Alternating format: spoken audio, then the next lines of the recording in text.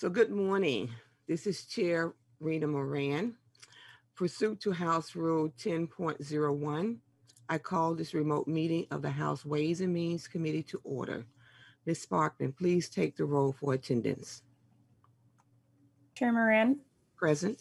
Moran present, Vice Chair Olson, Present. Olson present, Representative Garofalo, Present. Garofalo present, Representative Albright, Present. Albright present, Representative Becker Finn, Present. Becker Finn present, Representative Bernardy, Present. Bernardy present, Representative Ecklund, Present. Ecklund present, Representative Hansen, Present. Hansen present, Representative Hassan, Present. Hassan present, Representative Hertaus, Present. Hertaus present, Representative Hornstein, Present. Hornstein present, Representative Johnson, Present. Johnson present, Representative Kresha, Present. Kresha present, Representative Liebling, Present. Liebling present, Representative Lillie, Present. Lillie present, Representative Mariani, Representative Mariani, Representative Marquart, Marquart, present. Marquart present, Representative Miller, Representative Miller, Representative Nash, Nash, present. Nash present, Representative Nelson, Nelson, present. Nelson present, Representative Noor, No, present. Noor present, Representative O'Neill, O'Neill, present. O'Neill present, Representative Pelowski, Pelowski, present. Pelowski present, Representative Petersburg, Petersburg, present. Petersburg present, Representative Pinto, Pinto, present. Pinto present, Representative Schomacker, Schomacker, present. Schomacker present, Representative Schultz, Schultz, present. Schultz present, Representative Scott, Scott, present. Scott present, Representative Sundin, Sundin, present. Sundin present, Representative Mariani, Representative Miller. That concludes the roll. There is a quorum present. Thank you, Ms. Sparkman. So a quorum is present. Our first agenda item is approval of the minutes from our hearing on Saturday, June the nineteenth. The minutes were included in the hearing documents emailed to you by committee staff. Are there any questions or corrections to the minutes? Uh, Vice Chair Olson, would you like to move the minutes? Uh, Madam Chair, it looks like Representative Garofalo has his hand up. I don't know if that's a correction or comment to the minutes. Oh, thank you, Vice Chair. Representative Garofalo. Um, thank you, Madam Chair. It's somewhat related to the minutes, but not completely. I'm just, I'm wondering if by the end of this month, now that we're meeting in session, if the committee is going to be meeting in person. Are we going to be having any um, in-person meetings at all? Um, uh, Representative Garofalo, um, I don't see any in-person meetings, hearings in the near horizon. Okay, I can wait till after approval of the minutes, but I wanted to, I just wanted to find out what the, have a conversation about that. So I'll, I'll wait till adoption of the minutes. Thank you, Madam Chair. Okay, thank you. Are there any other questions in regards to the minutes? Okay, Vice Chair Olson, can we get you to approve the, move the uh, approval of the minutes? I uh, so move, Madam Chair. Thank you, Vice Chair Olson. Uh, Moves approval of the minutes for June the nineteenth, twenty twenty-one. Please unmute briefly for a voice vote. All in favor of approving the minutes, say aye. Aye. All opposed? The motion prevails and the minutes are approved. So members, this morning, we will hear the budget agreement for the Environment and Natural Resource Omnibus, House File 5. We would then call a recess to keep the committee open in case other bills are ready for us to hear by the end of the day. To the bill, to the bill, I'm sorry, to the bill.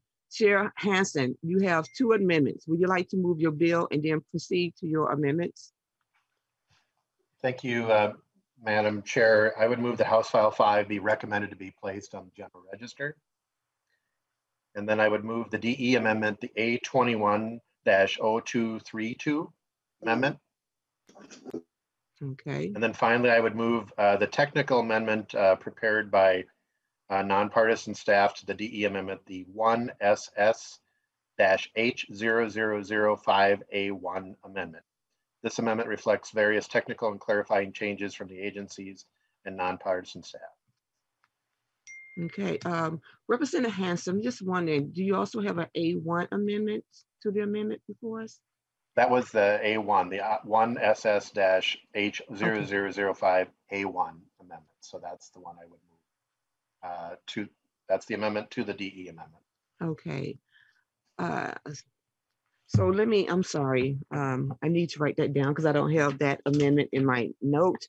You know, we're getting to these final moments and everything is moving so fast and oh, or in last minute. So can I get that amendment again, uh, Representative Hansen? The one SS dash H 5 A one amendment. So is that the ASS dash one zero zero one five dash A one?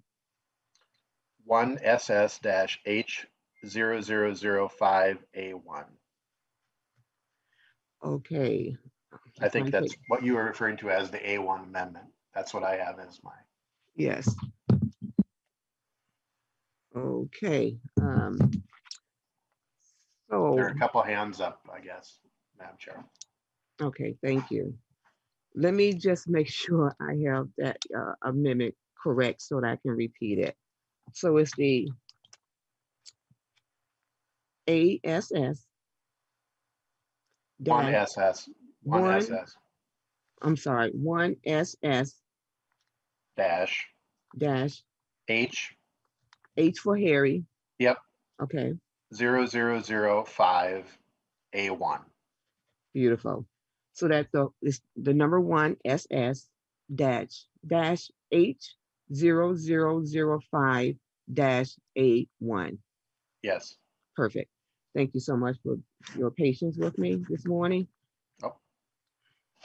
Okay, so, um, I see we do have a couple of hands. Representative Nash, do you have a question?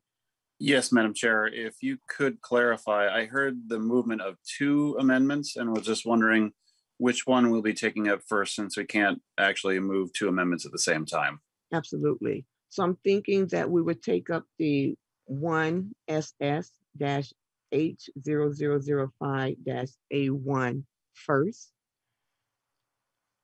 And we will discuss that and then we'll move the A uh two one dash zero two three two. Madam Chair, Yes, Chris, uh, just for clarity for members, uh, the A1 is a technical amendment that is drafted to the delete all A21-0232. So Representative Hansen uh, moved the delete all amendments and then moved the A1 amendment to the amendment. So the A1 is before the committee at this time. thank you, Mr. McCall. Um, Representative Nash, is that the clarity that you needed? Yes, Madam Chair, I was just trying to make sure that we didn't get uh, out over our skis since you can't do that. uh, Two amendments at once. I believe that you've got to take up the DE first and then make your amendment to the DE. So thank you. Thank you. Representative Albright? Chair, and along those same lines, I- I just want to reiterate what Mr. McCall just um, mentioned. So as I would understand it for the members around the table or the Zoom call, the DE is now before the committee. And then pursuant to that, Representative Hansen will pick up the technical amendment to the DE, adopt that. And then as the DE is amended, then we will discuss that. Is that what Representative Hansen and Mr. McCall confirm? I see Mr. Representative Hansen giving the thumbs up. I just want to make sure that that's taken in that parliamentary procedure protocol. We don't want to get off to a bad, bad start this. I am so thankful for all the help and, and the expertise that we have in this committee uh, and the uh, collaboration to assure that we are doing, you know, the um, protocols and procedures as needed. So bear with me if, you know, I'm challenged here and take some time, but we will work through this. But I do appreciate the support and help of, of members. Okay. So, uh, On the technical amendment, Madam Chair, I would ask for the committee's support. Uh, um, It is technical and clarifying. okay. So, um, bear with me, I have my notes here, so I'm hoping we can follow this. I know we, I hear some DEs, but we have the A1 amendment to the amendment before us. Um, and so before we vote on the A1, could you, uh, have you explained your A1 amendment, uh, Chair Hansen? Um, I explained it as technical. I think it's That's- uh, that's it. pretty straightforward in front of the committee. Are there any questions to that? So if there's no further discussion, Chair Hansen renews his motion to adopt the A1 amendment to the amendment. All in favor, say aye. Aye. Aye. Aye. All opposed? The motion prevails and the amendment is adopted. So members, we are back to the A twenty-one 232 amendment as amended. Chair Hansen, do you have any additional comments before we go to questions from, from members? Thank you, Madam Chair. Uh, To the DE amendment as amended by the technical amendment, the joint bud- budget target for the Environment, uh, Natural Resources, Finance and Policy Committee was set at 361.988 million from the general fund for FY 2022 and FY 23 biennium. This is 30 million above the base. This amount was increased by 3.5 million in order to accommodate additional requirements related to chronic wasting disease and farmed cervid oversight. The target was further adjusted 1.591 million for the conservation officer salary increases, what, which in legislative shorthand, we've been referring to as the MLEA uh, increases. Uh, The total general fund spending is 367.079 million, which is 35.091 million over the base. In total, the bill directly appropriates 993 million from all funds, including the Environment and Natural Resources Trust Fund. Adding in the statutory and open appropriations, the amount appropriated is 1.66 billion. The budget, uh, a couple highlights, uh, and I understand that Senate Finance Committee is going to be meeting today. Uh, The outstanding issue that is still being discussed is how do we respond to the crisis of chronic wasting disease and the details related to that. But this represents the agreement with the Senate at the present. I'll just go quickly through some changes. In general, this bill is pretty much uh, uh, sim- very similar to what we passed uh, off the House floor with some notice, notable financial changes and a lot less policy changes. For the Minnesota Pollution Control Agency, there are 1.998 million for local government water infrastructure grants. These will go out to help uh, prepare uh, communities for the advances in climate change that are affecting our communities. There is the operating adjustment for public employees, 128,000 for the green tier report, 600,000 for the PFAS source evaluation, 350,000 for the St. Louis River TMDL, 200,000 for the MLCAT uh, fund repayment, and 104,000 for the PFAS food packaging ban. For the Minnesota Department of Natural Resources, there are 3 million for legal costs, of which 2 million may be transferred to the MPCA. There is 2.5 million for accelerated tree planting and 2.4 million for emerald ash borer, 1 million coming from the heritage enhancement account. I should note that this is one of the largest investments in trees uh, uh, that we've had in recent years. 3.984 million for the operating adjustment for public employees, uh, 300,000 for public safety response, 300,000 for a grant to the for the Red Lake Nation for aquatic invasive species response. 850,000 for aquatic invasive species prevention grants. There is no watercraft surcharge. There are no fees in the bill. Uh, so we have got, we're dealing with EAB and AIS and CWD. 1 million for the University of Minnesota Aquatic Invasive uh, Center, no watercraft surcharge. 225,000 for the Hoffman apiary, apiaries. Uh, that's a Senate provision. 2 million increase for state parks. There is no state park fee increase, but the general fund is going to help uh, meet state parks cost. And with the passage of this bill, this ensures that the state parks will be open uh, starting on July 1st. You may remember there were threats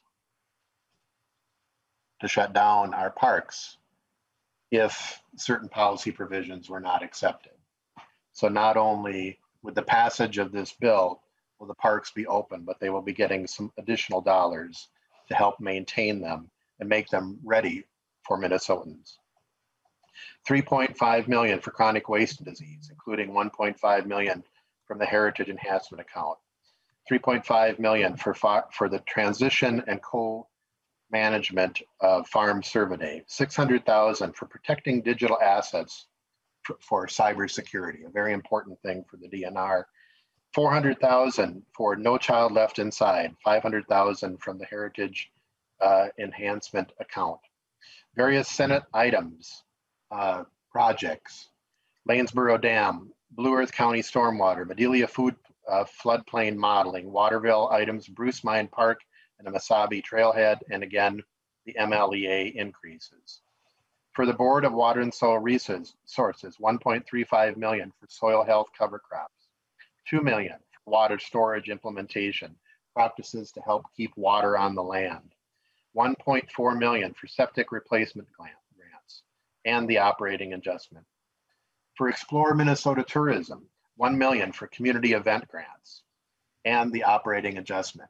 As we come out of COVID, it's important for communities and these, the events that we all treasure around the state to be able to have some uh, funds to appropriate uh, to help promote those events for Minnesotans and people from outside Minnesota to attend and enjoy. Changes to the LCCMR bill. The FY22 LCCMR bill is as it passed the House previously passed in Ways and Means. In the FY21 bill compared to what passed the House, the Teach Science Schools STEM laboratories were, was reduced to 118,000. 118,000 was added to lawns to legumes. In addition to the 61.387 million in resources that were available for FY21, a few other projects that otherwise would have been canceled to the corpus of the fund are transferred to new projects. These include a 2.768 million project in the House that was included in the bill and additional projects using 1.164 million. These were used, these are cancellations in the Environment Natural Resource Trust Fund. So they're projects that uh, were um, never completed or they had amounts that weren't completed and came back to the LCCMR uh, and the Environmental Trust Fund. So we used, we captured those unspent dollars and we have appropriated those funds as followed. Unprecedented change uh, threatening pristine Minnesota's pristine lakes, 482,000. Wastewater pond optimization, 700,000. NRI mineral and water resources, 700,000. Chloride pollution reduction, 500,000. Chronic wasting disease prion research in soils, 336,000. Lawns to legumes, 880,000. And then we uh, provide for a small emerging issues account of 284,000 uh, for the future. And that, uh, members, is a quick, relatively quick summary of the bill. Thank you.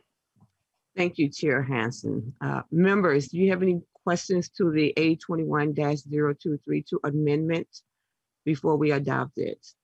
Okay, I see some hands. Um, Representative Hertaus.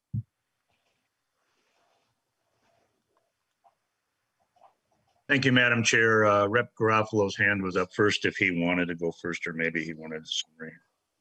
Yeah, uh, he usually wants to go last, but Representative Garofalo? Um, Madam, Madam Chair, thank you, Representative Hertaus. Madam Chair, I just wanted to know if you wanted us to have debate on the uh, delete all amendment as amended, or if you wanted to adopt these amendments first before we take that up. Well, I, I would prefer that we adopt the um, um, amendment to the amendment and then debate it. Okay, I will wait until the author's amendments are uh, uh, adopted as amended, then I'll say my comments for then. But Madam Chair, I do want to have a conversation about um, when we can anticipate us meeting in person here. So I'll just Okay, float that again. Thank you. all right, beautiful. Um, so why don't, uh, Representative Hertaus, would you like the same or are you ready to ask your questions now? Uh, Thank you, Madam Chair. And uh, Chair Hansen, thanks for your overview. Um, I was shuffling some papers when you mentioned first about CWD. I've had about three constituent emails concerned about this issue, and I picked up that you uh, mentioned $336,000 uh, right at the end here for additional CWD, but you mentioned something about during the transition were the words you used. Can you uh, expand a little bit? Are, are we transitioning Cervidae Farms out of business? Is, is that what I'm picking up or is it, did you mean something else by that? Could you just talk a little bit more about CWD? Chair Hansen, Thank you, Madam Chair and Representative Hertaus. Let me start with the last item first. The 336,000 is money to the University of Minnesota uh, for research on how long the prions last in, the CWD prions last in soil. Um, About, and I'm losing a little bit of track of time here, about a week ago, uh, the LCCMR had a meeting where we heard presentations from the uh, University of Minnesota and uh, appropriated money, remaining money from the emerging issues account to them for research. Uh, this is additional dollars for that research. So that's the research component.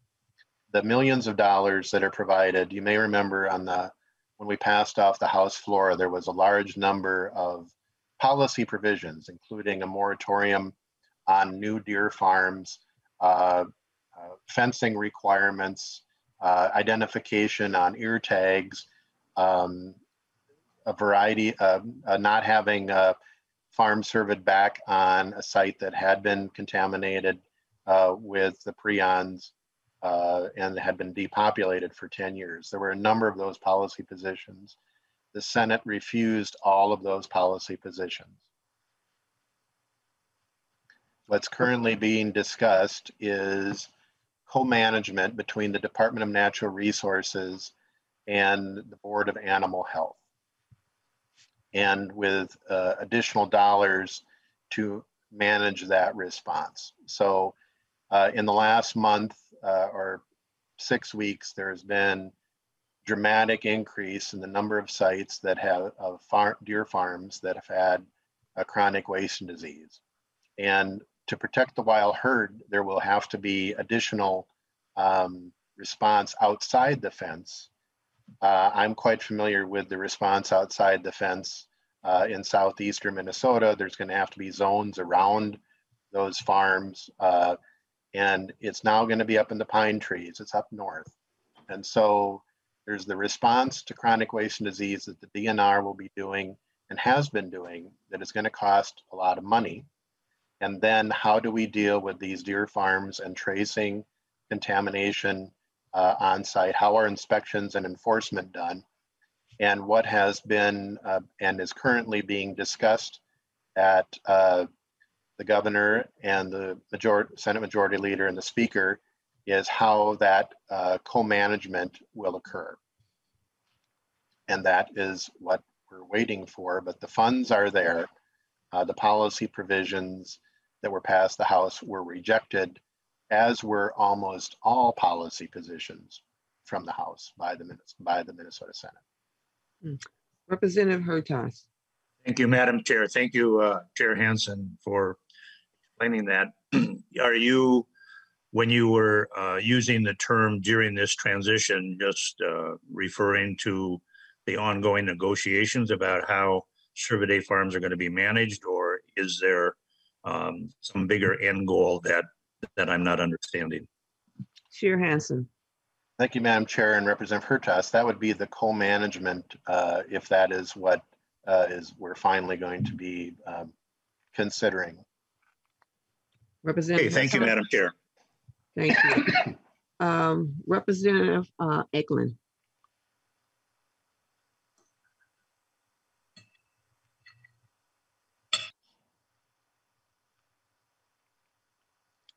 Representative Ecklund,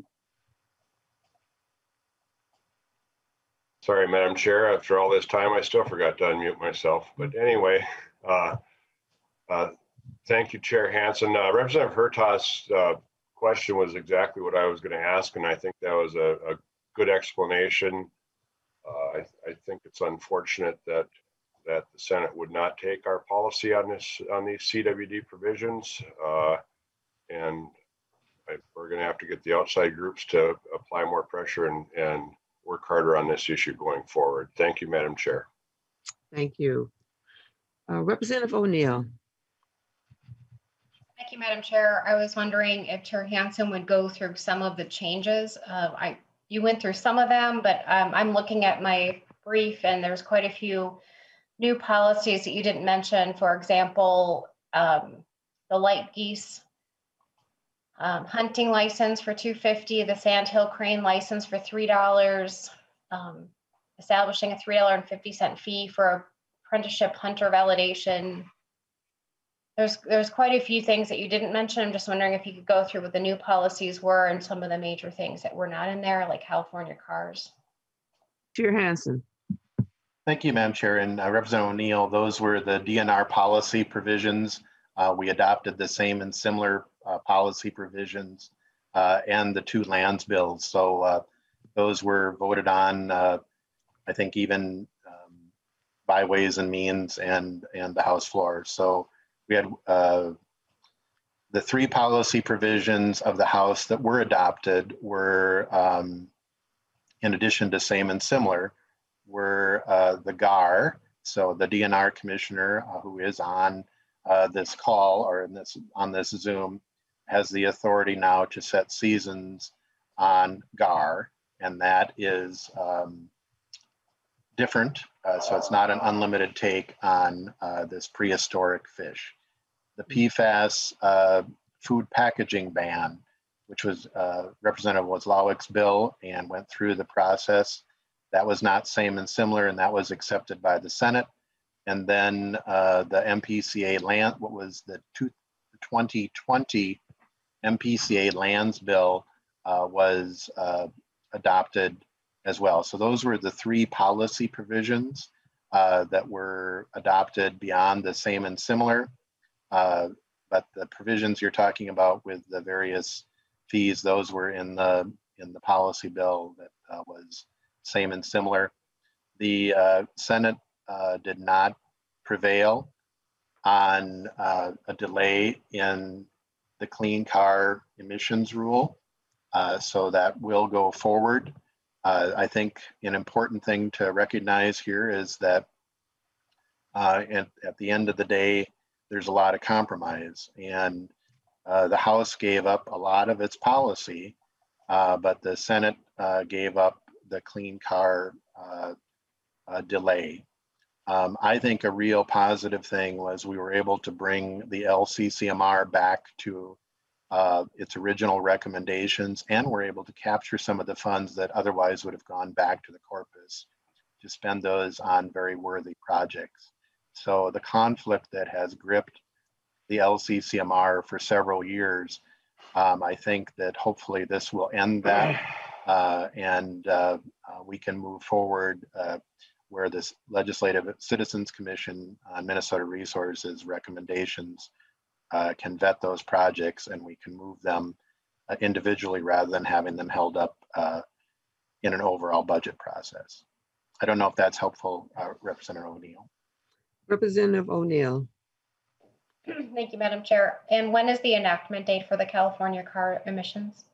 Chair Hansen, Um, I believe that Commissioner Bishop is on and she could give an update after the, as to uh, the impact of the administrative law judge uh, rulemaking, so we can get that accurately on the record.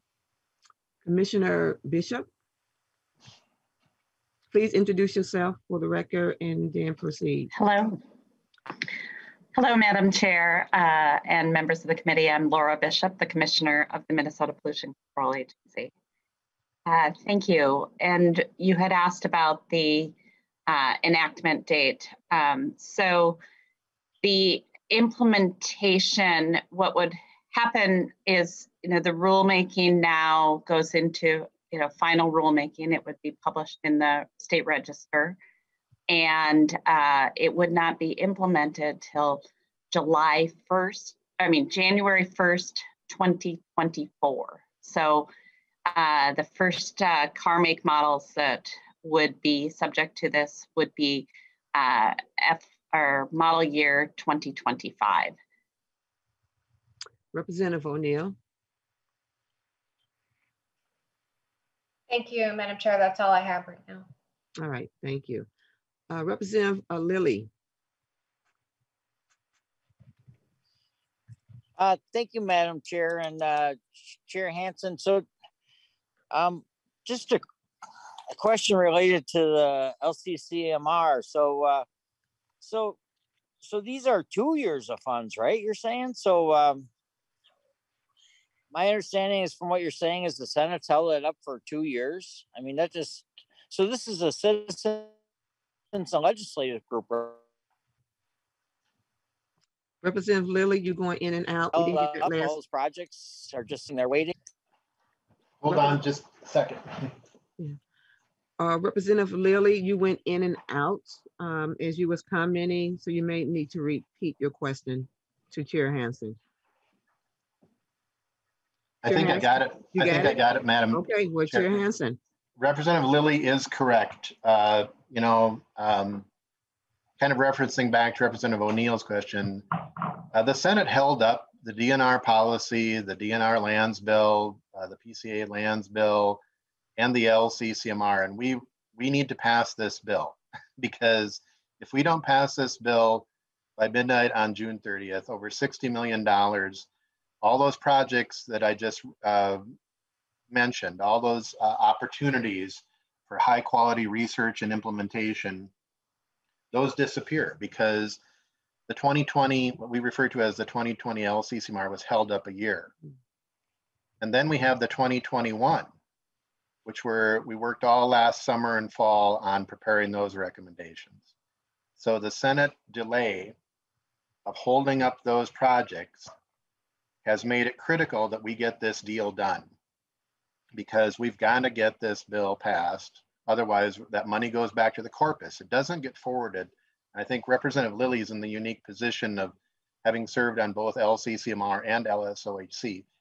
That those funds do not get forwarded, they disappear. So it is a re- really big deal that we were able to uh, achieve compromise on getting that 2020 bill uh, restored and able to capture some funds that would have been canceled and lost to use on worthy projects. And I, I see that as a major accomplishment uh, in this bill. And uh, hopefully we can get this bill off the floor and get it passed and uh, signed into law so that uh, the work can begin. begin. Representative Lillie. Um, thank you, uh, Chair Moran, and uh, thank you, Chair Hansen. I'm I'm just shocked. It's uh, it's just sad to me that these projects that are vetted by uh, the citizens and legislators uh, have just sat there. And uh, I mean, there's just um, amazing projects. I remember when I did serve on it, there was one that we were buying land on the St. Croix River, not in my district or anything, but uh, Senator Housley and I were working on it. And I mean, just to think that there's a bunch of those projects that might go away or be missed, it's uh, it's really sad for our state. Thank you, Representative Hansen. Uh, Representative Becker Finn. Uh, Thank you, Madam Chair. I just wanted to clarify, uh, especially I think for the public's benefit, since a lot of folks are paying attention to what's going on with chronic wasting disease. Um, So the, what, there are many different provisions in the bill dealing with chronic wasting disease. Some of those are funding to the DNR so that they can carry out their work. Uh, It costs a lot of money to deal with the aftermath of uh, positive chronic wasting disease uh, cases. Uh, and then because of the LCCMR bills being included in here, there's funding to the U of M for the work, really important um, groundbreaking work that they are doing uh, in different ways of testing and monitoring and learning more about chronic wasting disease. And then also uh, importantly, we, the House uh, position had been to seek changing authority for the oversight of white-tailed deer uh, farms uh, to uh, to the DNR from the Board of Animal Health. What is included in this compromise bill is concurrent authority uh, so that the DNR could regulate and monitor monitor as as well as the Board of Animal Health. So that is the language that's in this bill.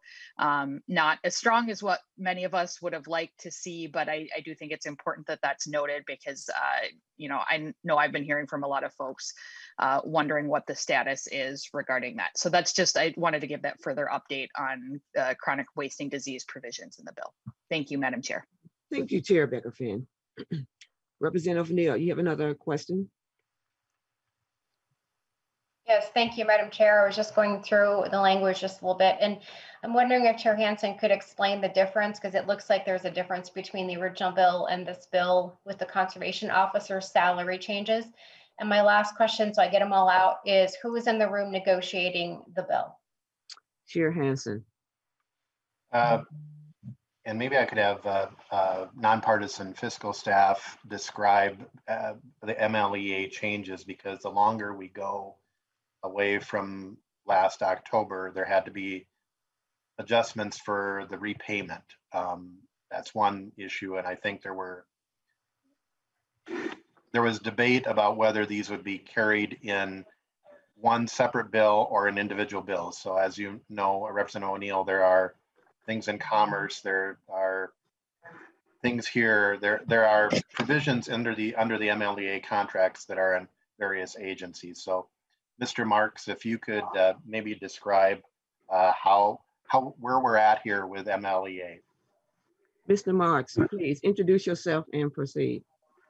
Madam Chair, Bill Marx, uh, fiscal staff, uh, the, uh, and Representative O'Neill, the, uh, the House bill originally had uh, salary increases for uh, the various law enforcement officers. The Environment Bill had the conservation officers in it.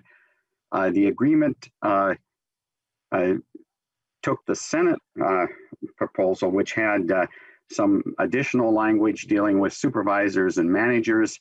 And, uh, and then the more recent development is there's a tentative contract now with the Law Enforcement Association. So there's language in here saying that uh, the increases that are in the bill include increases that uh, may have been negotiated in the contract. We don't know what's in the contract. That's not public information yet, but uh, that language has been added as well.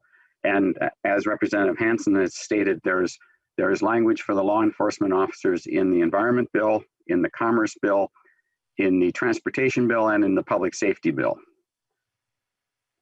Representative O'Neill. Yes, as the former SCR chair, I'm aware that there are law enforcement uh, employees essentially scattered throughout different state budgets. Um, and so then the final question, if Chair Hansen would weigh in as who actually was in the room negotiating the bill. Chair Hansen.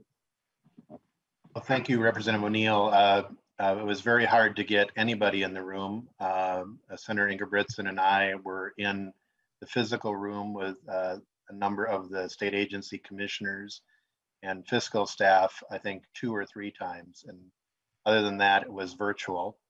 And as you know, uh, uh, Senator Ingebrigtsen uh, went to Alaska. So it was difficult to be in the room, but we were able to virtually accommodate that.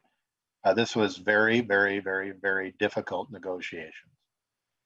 Representative O'Neill. Thank you, Madam Chair. Thank you, Chair Hansen. Um, and what, how much of a, a role did the commissioners play in the negotiations of this bill? I know that commissioners have had varying roles. Some were there more as advisory and some were actually making offers uh, to from the House to the Senate and kind of um, brokering those deals. And so I'm just wondering the commissioners that were involved, and obviously there's more than one commissioner because you've got a lot of areas here, but what kind of role did the commissioners play in the negotiations? And the reason I asked this question is because this was all done behind closed doors and the public really wants to know how did these bills come to be? Chair Hansen. Thank you, Madam Chair and Representative O'Neill. So I think our, our area was a little bit unique because we have so many agencies and um, the DNR Commissioner, the PCA Commissioner, the Executive Director of the Board of Water and Soil Resources were primarily involved. Um, and then we had uh, our staff uh, working on sending offers back and forth. Um, so there was involvement, but it is uh, the role of the House and the Senate to negotiate. And uh, I think you could ask the commissioners um, that I was very adamant that the legislature writes the budget, that the legislature uh, has the authority. And uh, um, I was very blunt, and you'd probably uh, uh, uh, agree with me, Representative O'Neill. Um, but we were very clear that the legislature writes the budget, and it's important that um, you know where their input is there. And just as an example, uh, you know the action that we've taken in this committee so far, they've caught that they were able to catch the technical errors that were in the bill, and so I think that's really a a role. Um, there are really uh, two issues that are that were discussed at a higher level, and those were the manure uh, rulemaking that came over.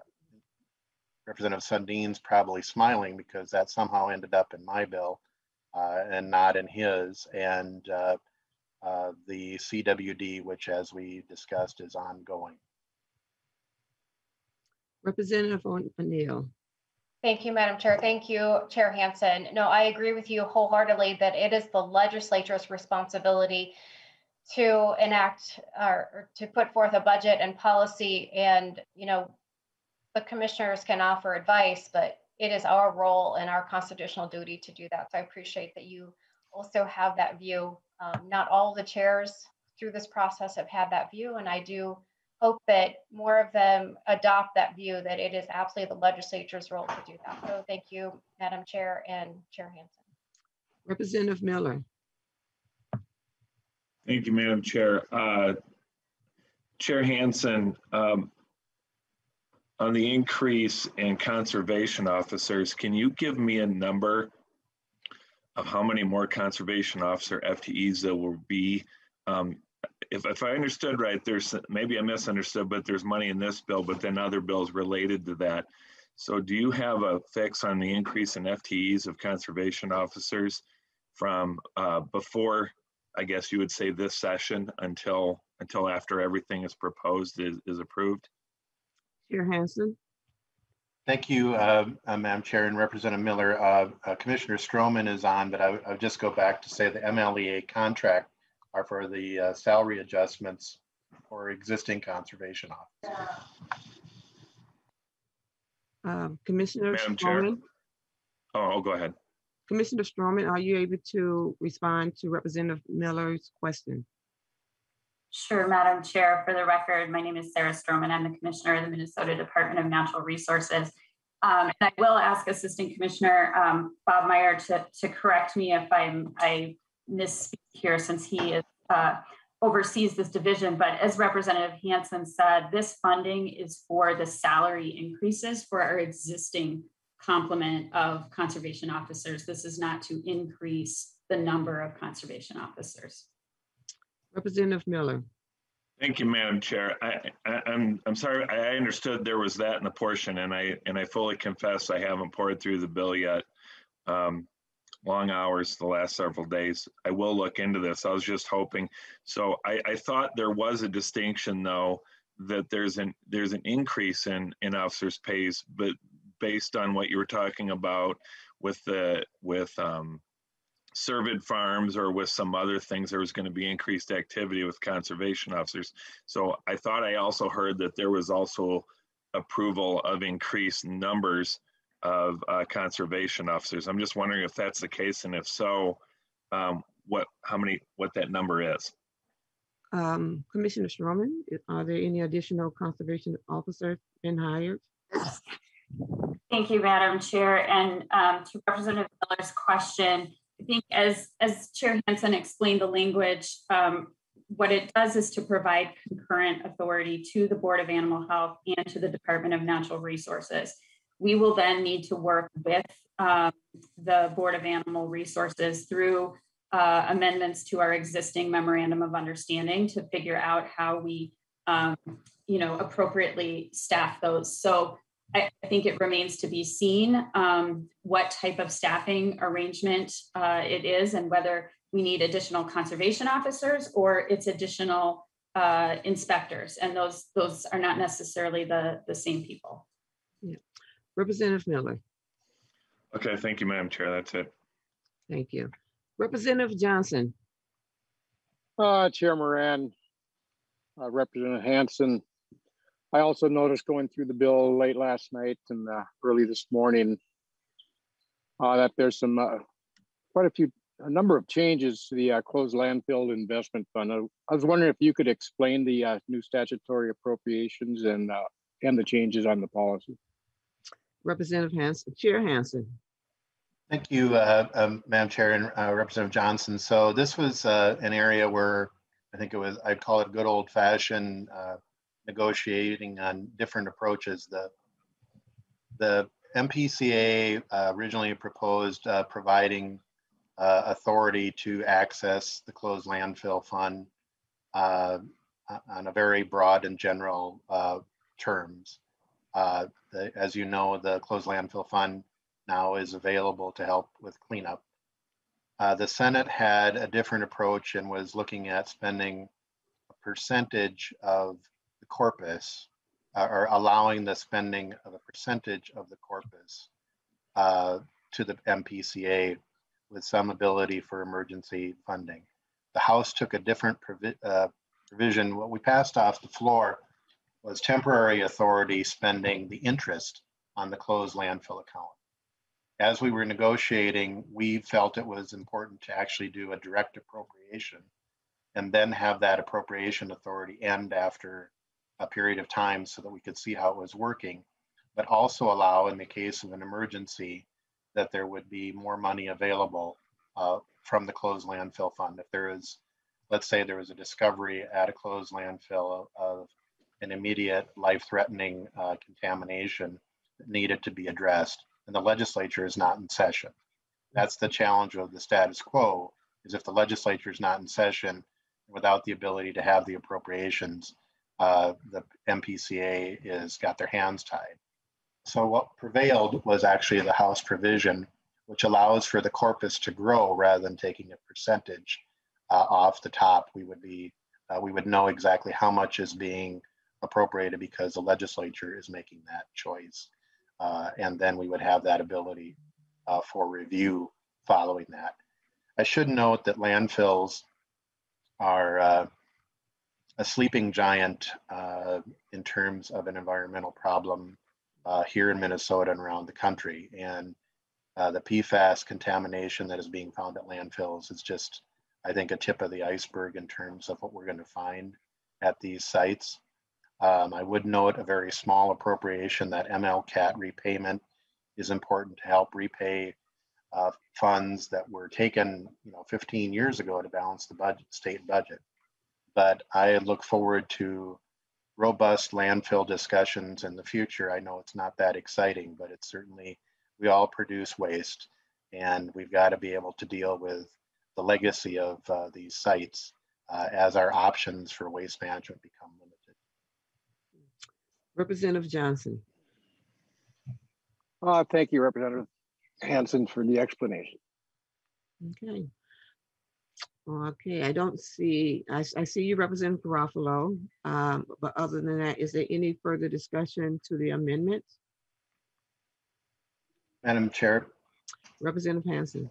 I do want to make uh, one point to highlight. I, I briefly discussed the manure provision, and I think it's important. Uh, this is a provision that the Senate uh, uh, demanded and uh, had to be accepted. And I, I have great concerns about this uh, amendment. Again, I stated earlier, we want to make sure that Minnesota's outdoor recreation opportunities are open on July 1st. Um, and I recognize the opportunity for, for compromise, but I think uh, the manure provision after a permit has, a general permit has been approved uh, is taking a great risk with the federal government and the EPA.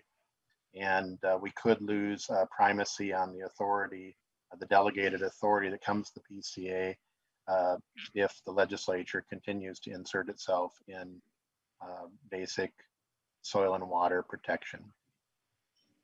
Um, I think Representative Garofalo had a question, or do you want to just adopt the? DE? Yes, why don't we adopt it? So if there's, I don't see any further discussion to the amendment. Um, So Chair Hansen renews his motion to adopt the A twenty-one 232 author's amendment as amended. All in favor, say aye. Aye. Aye. All opposed? The No. motion, the motion prevails and the amendment as amended is adopted. Representative Garofalo, Uh, thank you, Madam Chair. And first of all, can you hear me okay? yes. Okay. Um, so are we going to be taking any um, testimony on this bill today? There is no um testifiers to this bill, no. And Madam Chair, are there no testifiers because we're not allowing it or because no one wants to speak on it? Um, Madam, Ch- Madam Chair, I think traditionally there has, uh, the Ways and Means Committee does not take That's true. testimony. absolutely. You're so true. And I think Representative Garofalo knows that traditionally. No, I mean, Madam Chair and Representative Hansen, actually, our House rules prescribe that we must allow uh, public testimony. Uh, This, the remote hearing in response to the pandemic has kind of changed that. But um, the reason why I'm asking is number one, we're, you know, we're hearing from legislators and we're hearing from the government in terms of the commissioner's office. But the people impacted by this bill, um, we're not affording them the opportunity to have a dialogue with us and explain to us. And so Representative Hansen, um, I think you've had people contact you uh, with a specific provision uh, that there's concerns with in this bill. Um, I guess the, the first question I would have for you, Representative Hansen, is is there is there an agreement between the House and the Senate um, on this bill that's presented to us today? Chair Hansen, Thank you, Madam Chair and uh, uh, Representative Garofalo. The Senate and the House have posted the bill. Um, The provision that is my understanding that is still being discussed are the details on the CWD, on the chronic wasting disease. Representative. Thank you, Madam Chair and Representative Hansen. Uh, on page 113 of the bill, this is Article 2, Section 105, the the food packaging uh, PFAs. Can you just, um, from your perspective, uh, explain to the committee the history of this language? And then, since we're not allowed to hear from the concerns from those in the community on this, can you describe what concerns that they've raised regarding uh, this section of the bill? Chair Hansen. Yes, thank you, uh, Madam Chair and uh, Representative Garofalo. So this is the PFAS and food packaging provision, and I mentioned earlier there were three policy provisions that uh, the Senate accepted from the House. This provision, uh, Representative Garofalo, you may remember there was a bill introduced actually by former Representative Claflin uh, uh, three years ago, and then uh, was then was introduced by Representative Wazlawik it was introduced and heard in the uh, in the House. Uh, it went through several committees and it passed off the House floor. Um, and it was agreed to between Senator Ingebrigtsen and I uh, 10 days ago, roughly, uh, that we would that uh, the Senate would accept that language. So uh, that language is the same as what passed off the House floor. Um, it simply and it and it, but it actually has a later implementation date. We acceded to the Senate's request, and we it has an implementation date of January 1, 2025.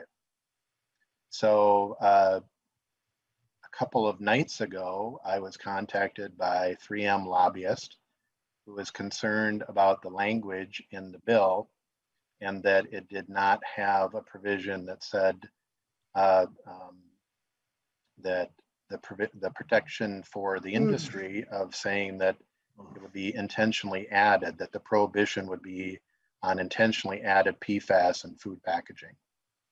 I think it's important to bring it back to, I, I don't think Minnesotans know that PFAS is in their food packaging. And I don't think Minnesotans want PFAS in their food packaging. And I think Minnesotans would think that the bright and smart industries that we have in our state and around the country could figure out a way of making food packaging without PFAS. We had actually proposed in the negotiations an earlier implementation date so that baby and toddler food packaging uh, bans would go into effect on 2023. And the Senate rejected those provisions.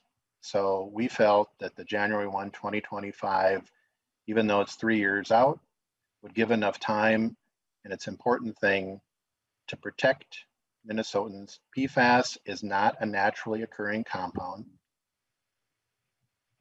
It's showing up in our landfills now.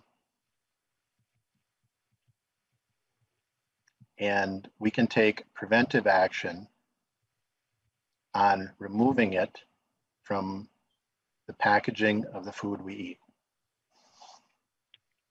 And so, Madam Chair, and uh, Representative Garofalo. thank you, Madam Chair, and um, uh, Representative Hansen. So to be clear, it is your intent, regardless of, uh, there's a spectrum of PFAs that are available that you call them PFOs, but I call them PFAs. Um, there's a spectrum of PFAs out there in terms of safe versus unsafe. It is your intent to ban any and all trace of PFAs from any food packaging. That that's not a that wasn't a drafting oversight. That is your intent. That is, that isn't, that's the bill that was introduced and it was heard and went through committee and was passed off the House floor. Yes, The and Madam language Chair- on, the language on the substance does not change. But Ma- Thank you, Madam Chair and Representative Hansen. Just to be clear though, what I stated as your intent, this, it is your intent to eliminate any and all PFAs, even trace amounts from any food packaging. Chair Hansen. Yes. Okay. Chair- And so, um, and so, Madam Chair, with this issue, we've been um, contacted by, at least I've been contacted by um, numerous uh, businesses in the state of Minnesota, Fortune 500 companies, responsible Fortune 500 companies that have a long and strong record of environmental stewardship and responsible corporate citizenship, saying that this language is problematic, that it's not as drafted uh, for various reasons. Um, you know, and this is part of one of the downsides of legislating remotely, is that they're unable to uh, communicate these concerns or have this dialogue during committee hearings. And the net effect of what we're being told by stakeholders is that this is actually going to ban uh, these types of food packaging. Um, uh, we just heard this from Representative Hansen. Um, I don't think it's a good. I mean, I guess from a sometimes I like letting you guys win so people can see when you guys overreach. Uh, it kind of sounds like on this one that was just an honest mistake that people, uh, a version of this bill changed previously, and that it's going to need to be corrected at some point, whether that's now or in the future. Uh, the um, that when stakeholders signed off on this language, uh, they were under the mistaken impression that it was the original language, not not amended language.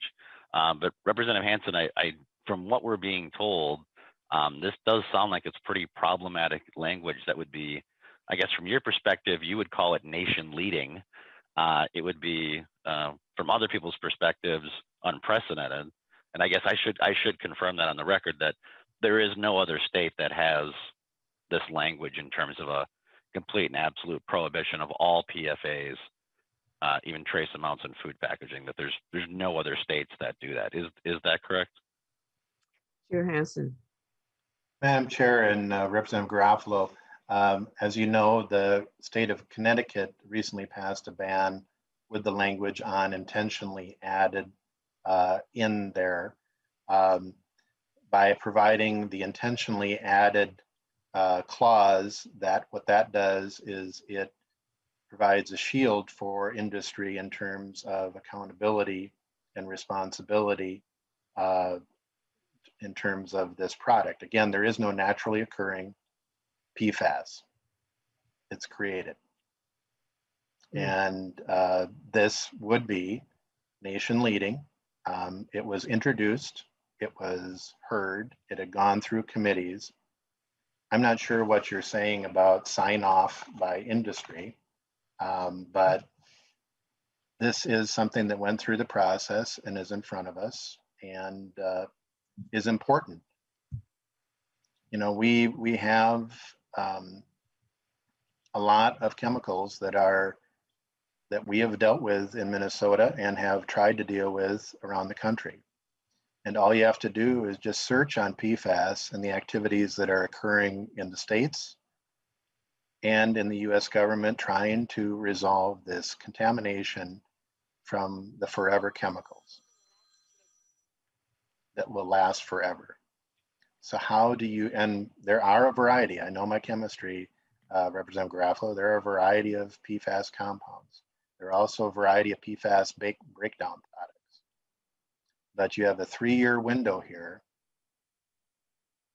or more, three and a half years, to try to find a way to make the food packaging without PFAS. Representative Garofalo. Um, thank you, Madam Chair. Uh, and again, um, Representative Hansen, I want to just thank you for the work you put in uh, this session and for uh, um, sharing your opinions on the stuff. Um, I, I'm sharing with you what people are telling me, and I take them at uh, their face value. That number one, uh, there is not an agreement on your bill.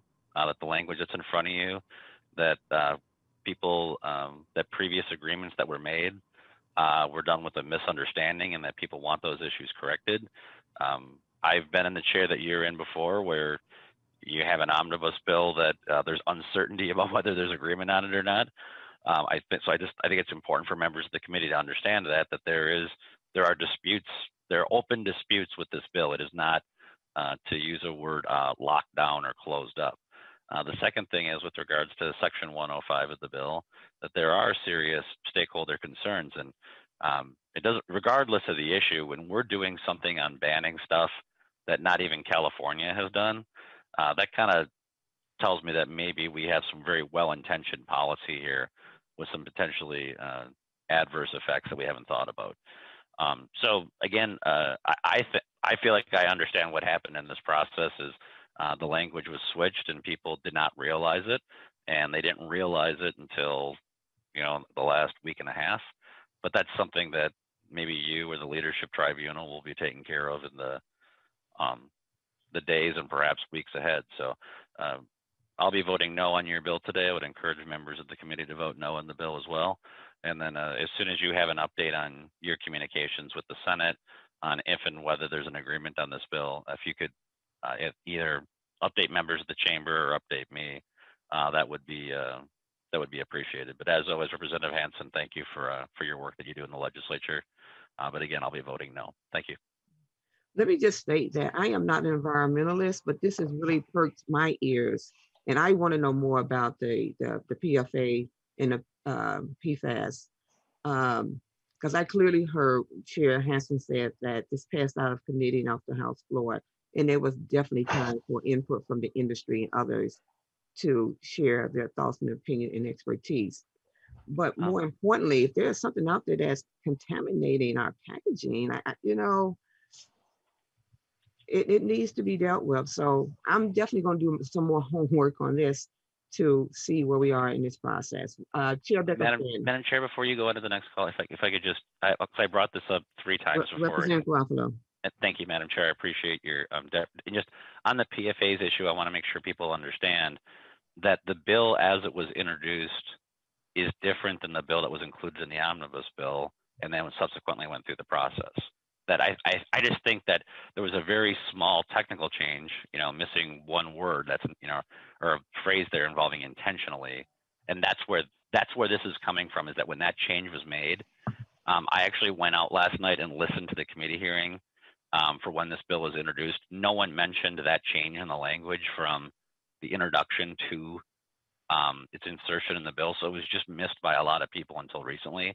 I think there's just an honest disagreement about whether um, what the conferees or what the chairs agreed to was meant to include the intentional language or not.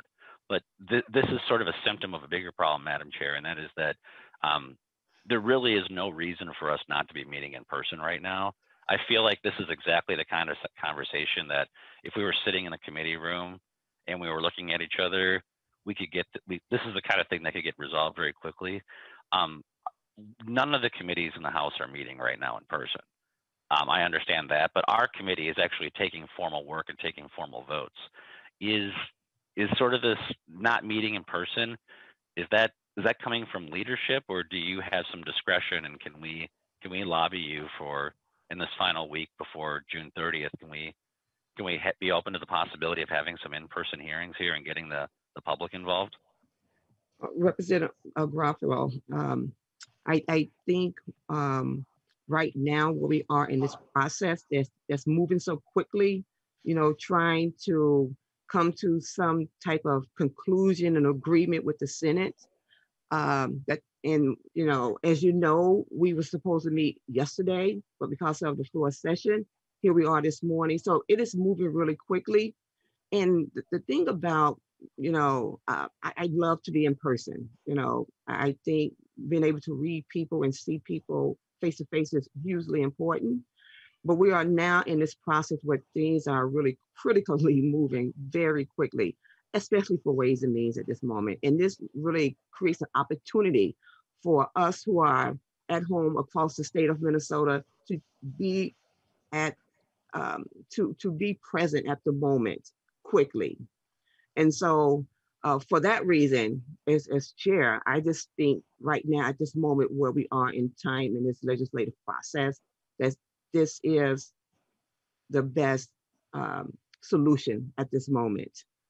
Um, Madam Chair, can you elaborate on that, please? Like, if we were at the Capitol, why would we, why would it be any slower? Well, the, the, the question is, we're not at the Capitol. You know, we are in this virtual, we, we're at home you know, and we don't know. I, I can't tell you that, you know, tomorrow or this evening at 6:30. I, I mean, we can call it and people just stand sit around and wait whether or not, but that, you know, uh, has not been my preference at this moment. And so um, I, I get you, I hear you, you know, and in a lot of ways, you know, I value the in-person meetings but in this process where we are right now, this moment, you know, we're going to leave, you know, we're going to be in recess for the rest of the day. We're not even going to close out because we have bills that are still moving and still been negotiating that needs to come back to ways and means. And there needs to be a, a within a moment notice that we are present. And it really opens up a great opportunity for folks from not only locally, but from across the state or across the world to also chime in to hear and listen to what we're doing. So it, it has a purpose in the process. Well, Madam Chair, we do have the opportunity, I mean, we do broadcast our hearings at the Capitol. It seems to me that the technology we're using right now is one way where uh, people, participants, stakeholders, they can listen to us, but they can't speak to us. Whereas when we're in person, we do have that opportunity to not only share what we're thinking with others, but also to listen to others. And that is a way for us to um, that's a, way for us to avoid some of the problems we've seen it uh, with these bills. So I guess I, I don't I do I do not understand the benefit to us continuing to be meeting Zoom as opposed to in person. Um, certainly, that's that's not the the policy the leadership tribunal has taken. They've been meeting in person, and I think if it's good enough for the leadership tribunal, it should be good enough for the people of Minnesota. Not that you need to hear testimony from every single stakeholder. That's certainly your your prerogative, but you are the only committee. This is the only committee that's meeting right now, uh, taking formal votes. The other committees are doing informational hearings. And I, I guess I don't, it sounds like this is your choice that it's not like leadership has forced you to do this, but I just, I would, I, I would question whether if this is signaling to us a permanent change that we are now, even after June 30th and in the interim, this is how committee hearings will be conducted um, that I just want to state my objections to that, and specifically uh, for the entire Republican caucus. Um, we want to be meeting in person. We think it's better, particularly since the Capitol was closed for all this year, and these hearings should be happening in person. And um, that's going to expand access. That's going to expand visibility. We're still going to be broadcasting these hearings on TV. I'm not, I'm not aware of any reason why we shouldn't be doing that, Madam Chair. I hear you, uh, Representative Garofalo. Um, and, um, you know, that is something to think about and maybe even, um, consider. Um, it is not the, the leadership saying to me that you should not meet in person. That just doesn't make sense, you know, for them to even suggest that or state that or kind of like demand that. And I do know a lot of those tribunal, as you state, meetings are not all in person, they are through Zoom. And so um, we can't predict the future, what tomorrow holds, but at this moment, this is where we are. And we'll see. Uh, Chair Becker Finn. Uh, Thank you, Madam Chair. Uh, So to, to bring us back to the bill, I, I do think it's important to remind folks that these, these PFAS chemicals, we have, um, we have banned them in, in other products already, um, and the, the sky has not fallen. Uh, and these chemicals we know uh, accumulate in the body over time, particularly if you ingest them, and uh, they can cause cancer, disrupt your uh, thyroid and hormones, cause low birth weights, you know, kind of a, a long list of bad things that can happen from toxic chemicals and why this is important. Um, as far as the symptom of a bigger problem, I think that the the symptom of a bigger problem here is that uh, a lobbyist doesn't like something, and so they are trying to disrupt something that has been agreed to and i think that is uh, that's actually a bigger problem than any than any other problem. You know as as noted earlier by by chair hansen we're the ones who make the laws and we can use the word stakeholder and it's a little bit nicer than using the word lobbyist but um, it's it's the same thing with uh, you know sort of getting uh, somebody weighing in and thinking they should be part of drafting the language. And the reality is that we are the legislature and we are the ones who draft the language. And not all of the stakeholders or lobbyists or outside groups are always going to be happy with every single thing that we do. But that doesn't mean that what we're doing isn't the right thing.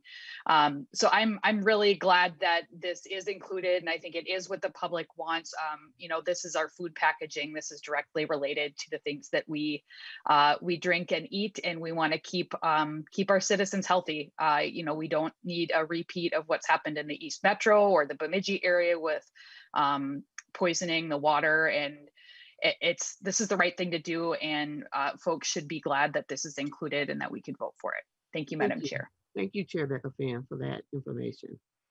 Um, Representative Scott.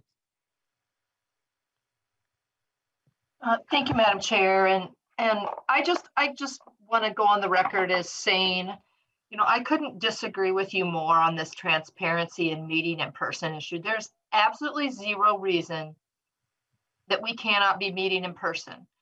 I think when you get really down to this whole thing, is that this Zoom stuff has made legislators lazy. They don't want to come in um, because it's inconvenient. And um, and it's it's the I I feel for the public right now because they're getting a raw deal. Um, you know, there are our stakeholders, lobbyists, whatever, on both sides of every issue at the Capitol. And for both of those sides, or you know, multiple sides, not to be able to come in and face to face present their um, concerns or their support for legislation is giving the public in general a raw deal. The, the bills that we're passing, in my opinion, this year have not necessarily been well vetted because of this Zoom process. And if you look around the country, things are opened up. If you look around Minnesota, things are opened up. There's no safety reason for most of us that we can't be there in person.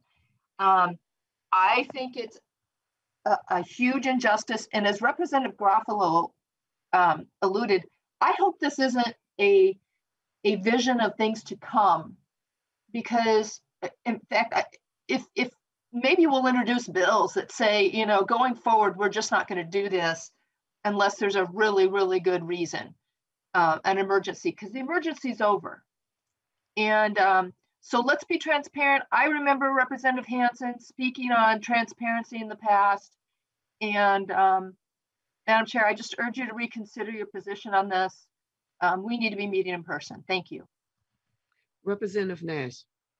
Well, thank you, Madam Chair. And I'd like to bring to members' attention a vote that we all cast on the rules of the House earlier uh, this session. And in rules, Representative Winkler took on a, an amendment that I had offered, which was to allow the public to offer testimony in committee.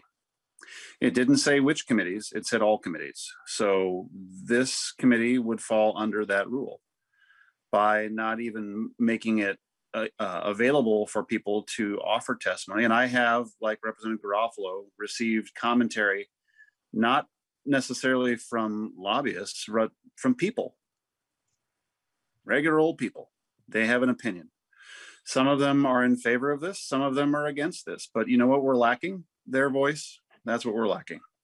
We will not be hearing them today because the majority party has decided that they don't want to offer testimony to be uh, put out there for for the public. They don't want to meet in public where it would be very inconvenient for them to have people come in. And you know i've i have had bills go through ways and means before and i was required to be there as the bill author and there was testimony offered.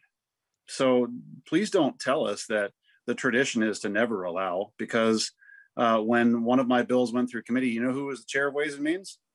Lynn carlson lynn carlson was there and uh, he had the gavel and there was testimony taken so I, I think that once again, and Representative Albright and I have talked about this lately, just a complete abrogation from the House rules because you you find them to be inconvenient.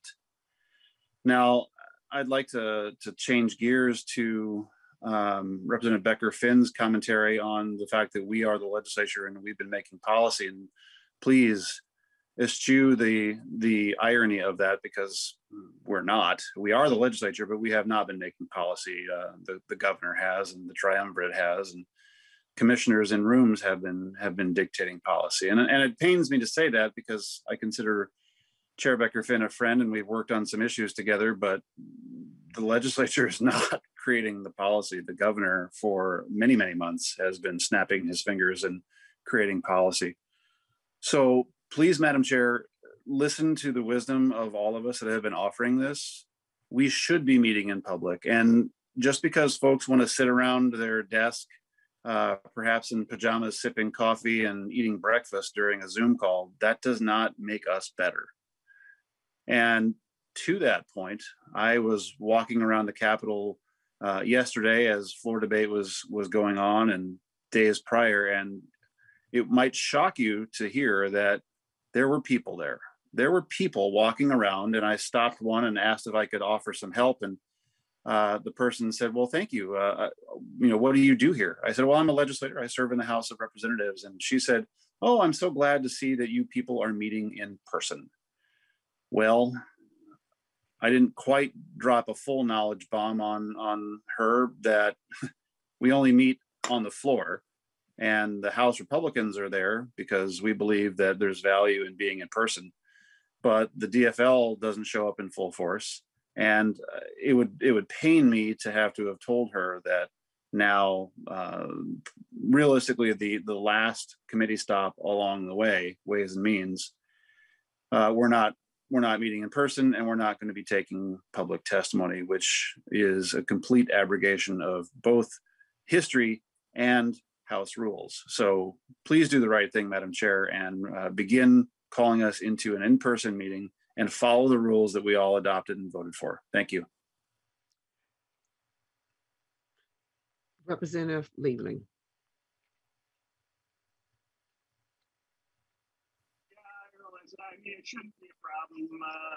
Thank you, Madam Chair. Um, hang on one second here. I'm just going to turn down my other computer because I'm multitasking, which I usually am doing these days, often for many hours a day. I, I just really want to react to a couple of things that I've heard here.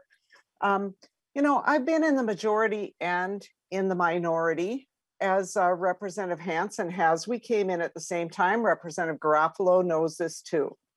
And we know that the job of the minority, at least uh, certainly this minority, is to slow things down. To slow things down, sometimes just it seems like the, uh, the object is just to make government not work, to make things fail, and certainly to say that everything the majority does is just bad, no matter what it is. If we do, if it's black, it's bad. If it's white, it's bad.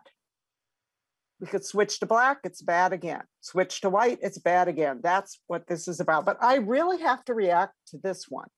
You know, most of the time I just sit quietly and listen to it and let the blah, blah, blah go on, Crit- criticize, criticize, criticize. But today, I heard one of the members say that legislators are lazy and that the public is not well served. And boy, does that make me angry. Because you know what, legislators? It is June 22nd. June 22nd. How long have we been working? Pretty much without a break. You know what? This is supposed to be a part time legislature. Part time. We get a part time salary. Many of us have other jobs. Some of us like to go on vacation when we're not in session. Some of us have families visiting that we would like to spend time with. Some of us have a kid's birthday party. And I'm not even talking now about our staff, our staff who come to our legislature believing that this is a job where there's an off season. And I want members to think about this now. This is nobody's fault. We have had a pandemic, a pandemic. And when we came into session back in January, of a year ago, nobody knew there was going to be a pandemic. And we and our staffs, staffs have worked through the pandemic and we continued to work special session after special session. And we continued into this session now. And some of us were, you know, there was an election in between, but those of us who were here in the last term, we were here We've been working, we've been working, we've been working. And if you're in the minority, I get it. You could be lazy because the minority doesn't have much of the responsibility. You can take on responsibility, you can do work if you want to, but you don't have to. You don't have the responsibility to govern. But people in the majority have been working their tails off, especially those who have committee leadership responsibilities. So I heard legislators are lazy. I resent that. I highly resent that, Representative Scott. Do not tell me that. That is simply a lie. Do not say that to us because we are working our tails off and we're happy to do it because the, the state of Minnesota needs it. But to say that the state is not well served, oh my God, the public servants in this state are fantastic. And I'm talking about our staff who work for far too little money and are doing far more than they should ever be expected to do. They're working hours that are unbelievable and they're smart and they work hard. And it is absolutely a disservice to say that, even though I know the minority is supposed to criticize. Okay, that is so unfair. And then secondly, I really, I really just have to respond to this idea that the governor is making policy. That is complete 100% BS, at least in every area that I am aware of. And if the governor was making the policy, we wouldn't be working as hard as we are. So let's get rid of that blah, blah, blah, because that is an absolute untruth. Absolute untruth. And when you just listen to Representative Hansen, explain his bill. He knows every detail of that bill. If the governor was writing that policy, he would not know every detail of that bill. He has dug in and done the work and given up family time as every chair has in this legislature. And because we're doing this remotely, I'll tell you what, this allows me to do about three times as much work and to work many more hours than I would otherwise. So let's just get rid of this mythology. I am sick to death of hearing this we sit on the House floor and we listen to you guys talk, blah, blah, blah, and waste everybody's time as though there was time to waste. We have a lot of business to do and we need to serve the public. So stop wasting time and let's get to it. Thank you, Madam Chair. Thank you, Chair Liebling. You said a lot that I was going to say, but I knew you would say it so much better. Madam Um, Chair, this is Representative well, Nash. I just w- point out that I excuse me, believe uh, Representative our Nash, excuse I believe our motivations were just Excuse called me, into question. Representative I would Nash, I encourage you was- to not allow that in your floor, in your committee debate. Representative Nash, I, I was speaking.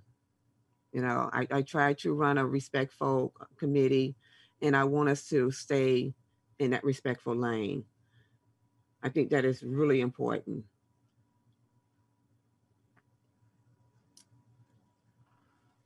So, but I do want to thank uh, uh, Chair Liebling because we work terribly hard here and we're only zooming because of the pandemic. And historically, within the Ways and Means Committee, that these bills have been vetted. And historically, we do not have testimonies. And once this bill leaves the Ways and Means Committee, chairs are holding informational hearings where the public has the opportunity to chime in during those hearings as, as they would in Ways and Means or any other committee. That is what's happening with this process.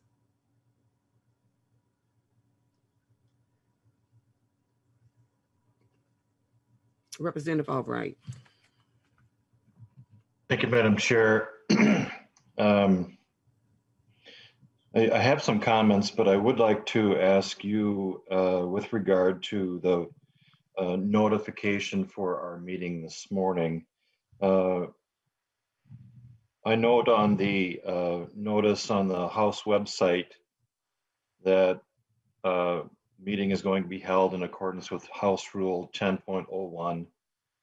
It also says members of the public with questions about this process may contact committee staff at chris.mccall at house.min. Written testimony may be submitted by email to chris.mccall at house.min for distribution to the committee. Chair Moran, nowhere in this notification does it invite nor disclose the opportunity for uh, audible public testimony, which is a contradiction from the availability uh, in years past, where in my experience, having uh, been a, a member of this committee for the last nine years, there has been, there always has been an opportunity for public testimony to be provided. So my twofold question before I have some uh, following comments is, are we to understand by the website that you do not accept public oral testimony to any bill? Or is it at the request after they contact the CA for the committee? And if so, has, has anyone contacted uh, your CA with a request to provide public testimony on this bill or any others in the past two weeks as an example? And I do have some uh, completing, uh, concluding comments. Uh, Representative Albright, you know, as uh, a first term chair of Ways and Means, you know, I had a privilege of having a conversation with a rep- uh, former Representative Lynn Carlson, who has the art of chairing and definitely chairing the Ways and Means Committee. And in now in that conversation with him and many others that I've had and held with him, that uh, traditionally the Ways and Means Committee have not have maybe very very seldom, very very seldom do not have public testimonies because the bills that are moving through this body has gone to other respective committees and within those committee public testimony has taken place. Thorough vetting of the bill pros cons all have been discussed in other committees so once it reaches the ways and means committee it's the discussion of the day it's not about the bill it's just a policy piece the fiscal part of it that moves out of ways and means and so you are correct. Uh, Mr. McCall, as the CA, has placed for the public to provide a written testimony if they so choose to do that. That has been the protocol of this committee, that people can submit written um, testimonies. And if they do, that those testimonies are shared with committee members. It's an open process that we have uh, made a part of the of, of the Ways and Means Committee um, until today. That is the process, Representative Albright. Madam Chair, Representative Albright. thank you. Um, With, with all due respect, Madam Chair, the process that these bills have uh, undertaken to get to this point is unlike anything else that any member of this committee or any other legislature has experienced. You cited yourself that we are living in very interesting times because of the pandemic. And as I would note, this is literally the first vetting of this bill before a committee in the House. Now, some would suggest, well, it came off the floor uh, and went to conference committee. That was under regular session. Then we turned to working groups. And then we moved to uh, a chair in the House and a chair in the Senate, and uh, to some extent, uh, commissioners uh, with uh, involvement in the provisions in the bill that were involved as well. So, Madam Chair, quite literally, this is the first vetting of this bill before a body of legislators in the House of Representatives to listen to this bill. And so whether you want to have this conversation here or the committee of the whole on the House floor to comments made by Representative Liebling, where the assertion was made that we just are speaking ad nauseum uh, to slow down the, the process, to, uh, if you will, filibuster, because we're in the minority. And while I, I certainly um, appreciate the, the work and the and the and the energy that uh, the chairs are putting into these uh, bills, I take great offense, Representative Liebling, when you suggest that the minority doesn't have to govern. How dare you? I have an election certificate that is as much warranted and has as much merit as you do. And for you to suggest that my position in the minority is any less important than yours as a, member of the majority and as a chair of a, of a committee. I really hope that you would rethink that statement. Because as a member of the minority, our job, Representative Liebling, is to point out the issues that have been brought up because of the content of those bills to point out the flaws, to point out the concerns that members of the community have brought to our attention that you might either be tone deaf to or are not availed of. To suggest that we are lazy and that we don't have to do anything because we're just in the minority. I, I, I, I'm, I'm shocked as a longstanding member of the legislature that you would take that tone with the minority.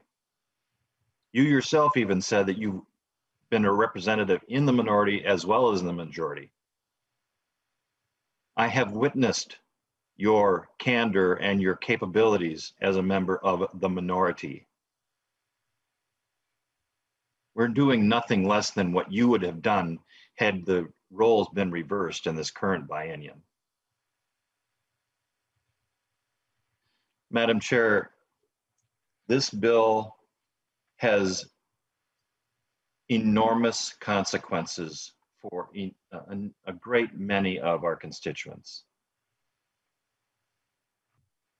It'll pass off of this floor because you have the votes, but I can assure you that the diligence and the responsibility of the minority to call out what we find as the issues that are most compelling to debate will be thoroughly and rigorously debated on the floor of the House for as long as we feel it is required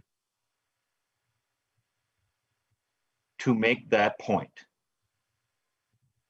And I certainly hope that the majority would respect the role that the minority has in properly vetting any legislation that comes before this body. Thank you, Madam Chair. Thank you, Representative Albright. And, you know, there is, there is a process that the public and those who have, you know, grave concerns about this bill could have sent a written testimony. And I would have expected to see an abundance of those written testimonies from um, those who have concerns about this bill. Um, But that is not so. Um, and you know, we've we've moved a little bit from this bill into um, not meeting in person. And I see we have a, a, a few folks who wants to talk about the need to meet meet in person. Um, and I stated that um, we there's something there's something that you know since I, I see there's a, a great need for uh, members to want to be in person. That's something that I can take into consideration as we move forward. Um, and my hope is that we don't, you know, uh, I mean, you know, we all have roles to play and things that we must say or think we need to say. And, and I'm fine with everyone doing that who needs to speak. Um, but it's it's not that um, being in person is something that I, as chair, um, have constantly decided not to do because it's not like we don't want to be transparent. I think this is a very transparent role that we're playing right now, whether we are in Zoom or in person. It is a transparent process. And so um, I, uh, I'm going to, I have four or five people who have their hands up who would like to speak, and I'm sure it's, it's, a, it's a, I- I don't know what it's about. So I'm just gonna allow folks to share what they need to share so that we can um, continue with the process that we are in, in moving um, this bill out of committee. So with that, uh, Representative Nash.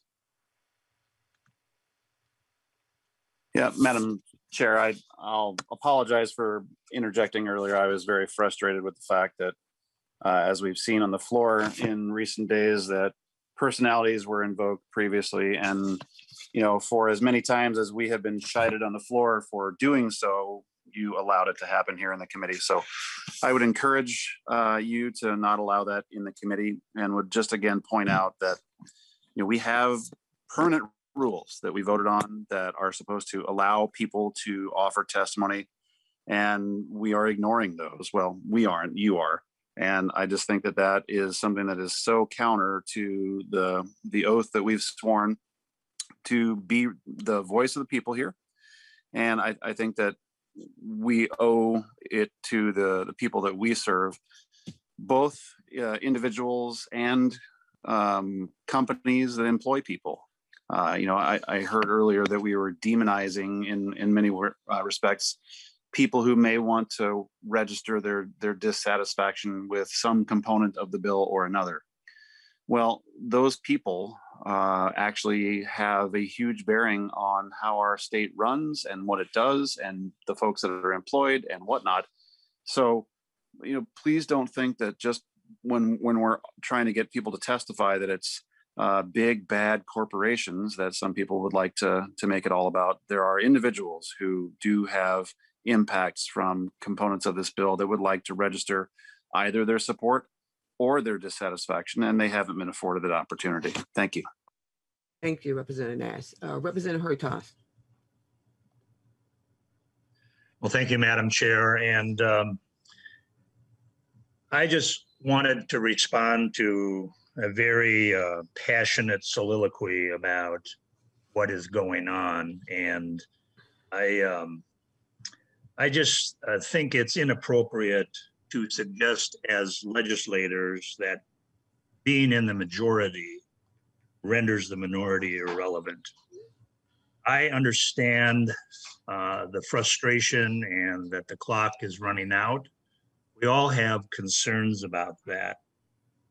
But the mere suggestion that the minority voice is irrelevant and that we're wasting everybody's time is troubling. And to suggest that it is conduct of one caucus versus another, uh, I remember very clearly when we were in the majority for four years. And I remember all of the same type of endless speeches going on as well. You know, Madam Chair, those of us who have held office for some time, we find oftentimes that the general constituency, and, and I say this in a more broad term, many people are very informed about their government and take an active role and participation in it, even though they do not hold election certificates. But when we do go out, and I'm sure this is true of, of uh, both sides of the aisle here, you go out and you find out how little folks really do know and understand how it works in St. Paul. And so when we have majorities, uh, most folks think that bills are authored, that they're entitled to a hearing, that they get a hearing, that we have a robust discussion about it, and that bills are even moved to the general register and get an up or down vote. And when it's explained how majorities and the power of the legislature is all stacked against the minority, that that the committee slots are two to one, that virtually you have little or no chance of moving things forward unless there is some bipartisan agreement. So, you know, it is just frustrating to to hear that our concerns don't matter. And when references are made to wasting time, I recall just a few weeks ago during the regular session, I think it was during the public safety bill, that we heard third reading speeches from the majority for probably an hour and a half or two hours before we even got into the details of the bill. A rather peculiar arrangement that the membership and the majority had long speeches on this issue. And let's forget about what the subject matter was. That's not the point here The point is, is that it does happen. And we all do have election certificates. We choose to run and hold office because we do care about our districts, we care about our constituents, we care about representing all of our members uh, of our community, not just Republicans or not just Democrats. And those of us who've been here some time certainly have tried to earn the respect of members on the other side of the aisle. That goes for you, it goes for uh, other members of the majority, as well as uh, our members. And so I think some of us do come with a servant's heart in wanting to do the best for Minnesota. But if this task or burden of holding an election certificate is just too inconvenient for the issues at hand, that we're supposed to be representing the concerns of our constituency. If it's just too convenient, then you we shouldn't be in office. We should resign. We should simply let somebody else do the task. And so, um, honestly, you know, even in my own case, I came with a servant's heart, figuring I would serve one or two terms. But then you suddenly realize that there are things about participating in the process and in the legislature that do take time and it does take time to build relationships and trust with other members. And uh, so I look forward that that we leave this meeting today with with a little bit different attitude about what is necessary. But as you know, when you're in the minority, and when we're in the minority, the minority, no matter who it is, has a limited amount of leverage to get the attention of the majority to address some of their concerns. Otherwise, it's just a matter of being steamrollered over. Slam bam, thank you, ma'am. This is the way it is. Too bad. You're in the minority. So I think all of us as legislators rise to a little bit higher uh, element in terms of cooperating with each other. And with that, uh, I will end it, Madam Chair, but I wasn't going to speak until I heard that soliloquy. It's just unnecessary. I- If you're frustrated, you're frustrated. I get it, but this was not the place. Thank you. All right, thank you. Representative Petersburg. Uh, Thank you, Madam Chair, and, and I appreciate the opportunity to speak a little bit about the process, which for me, the process is probably more important than, than even the outcome sometimes. And what I've, what I've heard you say is that um, Ways and Means generally doesn't take testimony uh, because it is usually vetted by committees and, and has been heard. And, and whereas I can maybe understand that justification during regular session, I wouldn't agree with it, but I, I could at least understand it. In the special session, especially this one, uh, I don't believe that's anywhere near true because the bills coming to us have never reached any committee whatsoever, and instead have been negotiated by two people at at least uh, three, maybe four at, at times, sent to the revisers and then brought to us. Now, why is that important? Because from here, it's going to be going to the general registry and onto the House floor. And the House floor, we do not accept testimony uh, uh, from that. So, so there has been no uh, input available. And what I've heard you say is that, well, that's okay because informational meetings are being heard after this. And so then public can have input there. Well, to paraphrase that and put it into a context that I think we can all understand, that would be like saying a judge uh, deciding a court case would say, well, I'm not going to take any evidence at this point because um, people can do that next week. Instead, I'm going to make the decision, send it up to the Supreme Court, which doesn't take testimony either.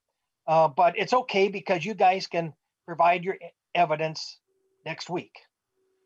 Well, that doesn't really equate to having input into the decision. Most people, when they're wanting to put input into a bill, believe that it has some weight given to that testimony before the decision is made. Making the decision first and then asking for input really isn't asking for any input.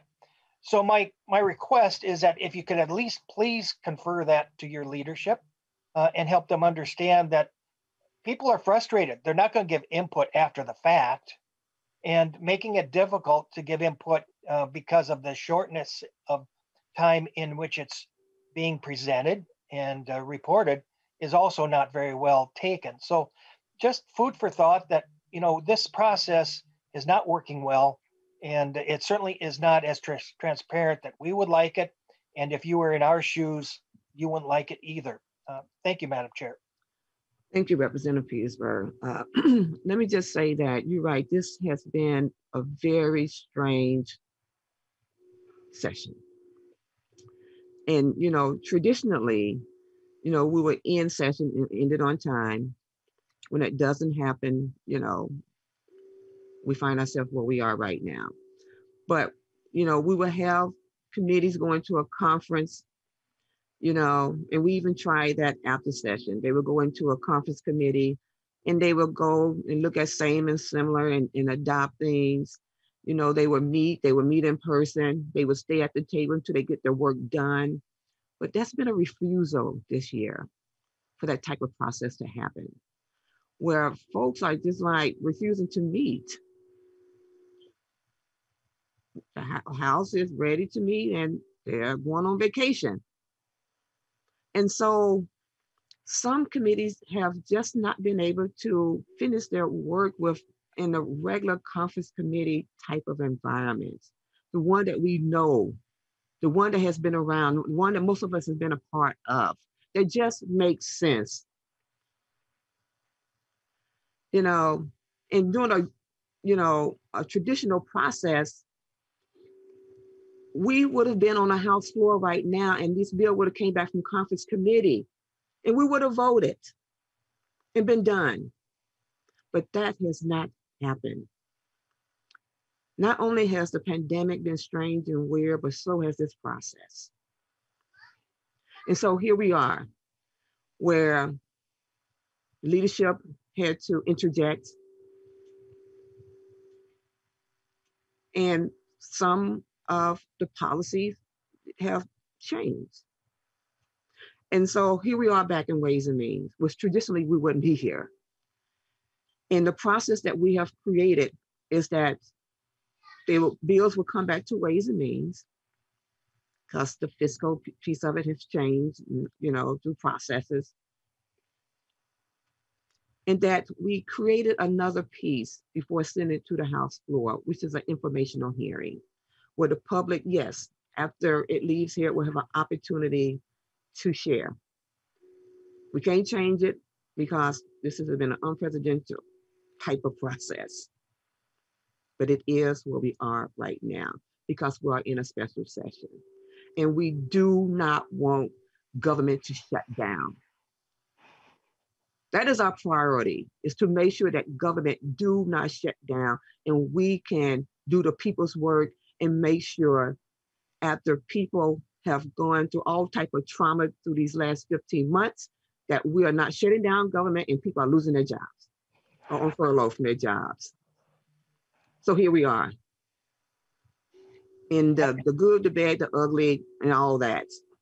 And so that's the process we created to to get some more information to share with uh, the public where we are, what you know, and chairs we do that through the informational hearing, and it will go to the House floor for a vote. And if all goes well, we would do this before June 30th. Because government will shut down on July 1st if we do not. And so we're all hardworking legislators. That's what I believe. Doing our part to represent our district, to represent the state, to represent all people, because we have to see all people. Madam Chair, may, may I follow up just quickly? Whom is whom is that? Uh, Representative Petersburg. Yes, okay, uh, in one second, Representative Petersburg. And so I just wanted to share that because as much, I think we're all frustrated and tired. We're working extremely hard. We're working very long hours. My CA, Chris McCall, is not only my CA, but has been working tirelessly with Health and Human Service. Tirelessly, not getting any sleep, not eating, trying to make sure that we're here in this committee today after a long night this is tough work. This is hard work. And we have to appreciate the time that people are giving of themselves. And that is what we're doing here. And so I'm just going to stop because we need, we, we have to move along. We just have to. Um, Representative Petersburg. Uh, thank you, Madam Chair. And it sounds like um, you're as frustrated with this process as, as most of us are. Uh, but the reality is, is that the majority is in charge of the process. The majority is in charge of the way the process is going, and eventually the accountability will have to be with with the majority. And and frustration that we're feeling right now is is shared by both sides, and we just need to um, accept responsibilities where they are. Uh, I myself, in just a, an hour or so, will be taking my wife for a lab test for uh, chemotherapy th- tests. So we all have challenges in front of us, and we need to um, uh, continually moving forward without um, without all this uh, irate discussion. Instead, just understand that we all are accountable, and we have we have to be hold ourselves accountable. Thank you, Madam Chair. Absolutely. And with that in mind, accountability, we have Representative Tim Miller who is next, and then we're going to go for a vote. Uh, Representative Tim Miller. Okay, thank you, Madam Chair. And uh, uh, members, I, I understand the nerves are getting raw. Uh, I think we it's probably shown up in other places in recent days. It's certainly showing up here, um, and I that's I guess that's almost part of the process. That's part of the process also. Uh, um, so I, I, think we do need to all give each other some grace. Uh, but that but grace doesn't doesn't keep us from our responsibilities either. And in some ways, I think at times like this, that's kind of the balance between the two. I, I only wanted to make a comment. Um, uh, um, I don't, I don't think anyone in this room or at the legislature right now can accuse me of being an obstructionist. Um, I've had the governor both privately and publicly say uh, very positive things about me. I've had the speaker privately mostly say very positive things about me, probably to my detriment in my own party. Okay. Um, so I hope that gives me some position to be able to say something without sounding like I'm just trying to string things along. That's why I say that. And uh, Chair Liebling, uh, I know you're on two, so if, if you're not listening, I'll just uh, assume you're listening. Um, you're, you're a senior member here, you're respected. Uh, maybe some people have that respect in a positive sense and a not positive sense, but there's no argument that people believe that you really know your stuff. Um, but I but I but I do take exception that uh, when I hear in your frustration uh, that my words are reduced or the people that I'm trying to represent or speak are reduced to blah blah blah. I heard that multiple times, and um, this system that we have is is can be an ugly and beautiful art, but it's an art form. It's not a science, and so we're dealing with people. and we have to we have to muddle through these things sometimes the the one sense that i have and the one challenge that i do give to you chair moran I, I feel like this some of this should be expanded to the broader body but so i'll keep it specific because we're in ways and means i'll keep it to this the one challenge that i do give to you chair moran is uh, at kind of at the beginning of this run here this sequence uh, representative garofalo you know, had exhorted the importance of us meeting in person, and other people's have other people have expressed that. I think that's a priority now. Um, there will be some nuisance with it, as always is, but I just hear our system. It's just kind of it's just kind of giving way at the seams a little bit.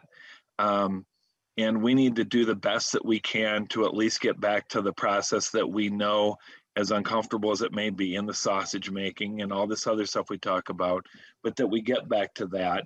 The Ways and Means Committee, I, I, know that I understand that we don't have a better way during special session except for to move things through Ways and Means, but that puts a lot of pressure and a lot of responsibility on this committee to get things done the right way in ways that I personally can step away from and be proud of. I might not like all of it. I might get frustrated with it myself, but three weeks from now, after, after I have a little bit of rest and um, have a little bit of perspective, I can say, you know what, the process worked there. Uh, I think you're hearing that frustration, Madam Chair. Um, uh, but please get us back. We're not trying to get in person for yet a new angle to try and drag things out. I can tell you from me personally, that's not the case. I think we need to do that. I think because the process is bringing us basically narrowed down into ways and means for all this stuff, that adds a burden all of us. But you don't, you're not on ways and means if you haven't been around, and you're not on ways and means if you're not capable of doing the extra work. We all want to do it.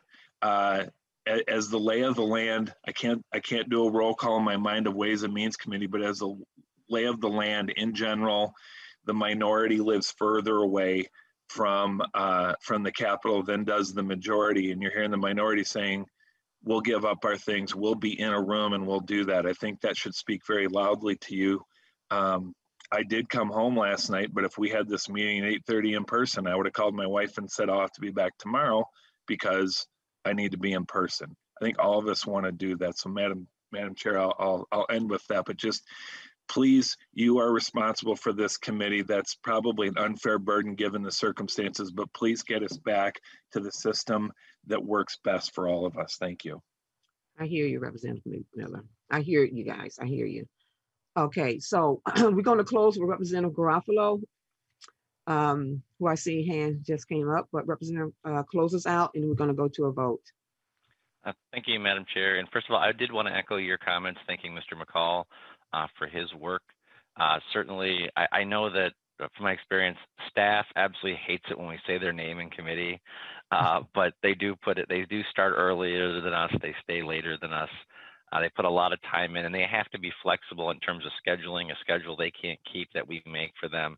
So I do want to thank him for his really good work staffing this, as well as our nonpartisan research and members on the Republican side of the aisle, uh, specifically Harry Kennedy and on this bill, Amy Zipko. All of us really appreciate the work you guys put in, and we don't always make it easy for you. So thank you. Um, uh, in closing, Madam Chair, I think it's important to recognize that our system of government is one where we allow all voices to be heard, um, not just the voices of those in the political majority. And so I would hope that you take those comments to heart, and I hope that our hope our next committee hearing uh, is an in-person committee hearing. I'll be voting no on today's bill, but as always, thank you to the members for their work on this bill. Thank you. With that, Madam Chair, can I, can I close on my bill? Yeah, absolutely, uh, Chair Hansen. Thank you, Madam Chair, and uh, a couple uh, quick comments.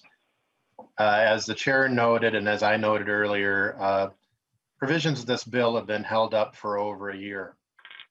And July 1st is coming quickly. Um, That means that we had to compromise. And there are a lot of compromises in this bill. A Couple of the compromises I'm very concerned about. I'm very concerned about the compromise on addressing the crisis of chronic wasting disease in Minnesota. I'm worried that because we don't have the House provisions on policy in here, that the money that we will spend will be ineffective. It's hard to have two bosses. So I think that we are not at the end of addressing chronic wasting disease. We are in the middle of this journey and more will be need to be done in the future. I am concerned about the manure provision that forcing that will actually result in the federal government looking at how we do water quality protection in our state. But we have to accept those provisions in order to get the bill done. And so Senator Ingebrigtsen and I negotiated the language on the PFAS and food packaging. There were some comments about switching and including and changing and other people being involved. This was language, the language that is included went through the process and is included in the bill. And what is being asked now is for intervention to change the language that had gone through the process. Representative Liebling was right. She and I and Representative Garofalo and Representative Lillie all came in together. We've seen a lot over those years. But what I remember is that we represent people. We are supposed to represent the people who elect us. The poor and the disaffected and those that have no voice. The well off and the well connected always have a voice at government. And they are trying to exercise their voice now and changing an agreement. And if the agreement on the PFAS and food packaging is changed, then there is no honor in the system.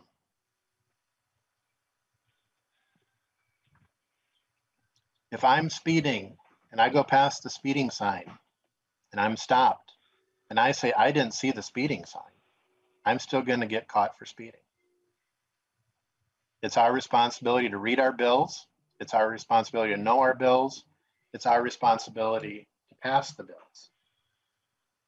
And these bills have been vetted. So I'm asking for your vote. A lot of the debate today was on process.